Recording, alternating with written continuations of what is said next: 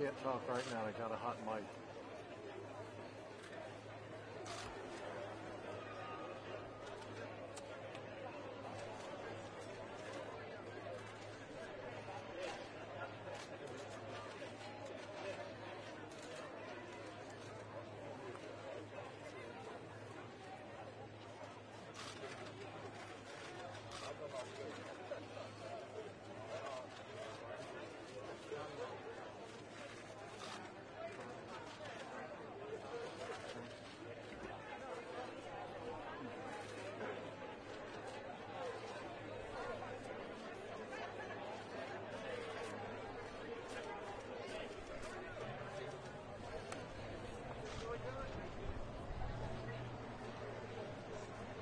Get him down. He's got to go down. He's got to go down.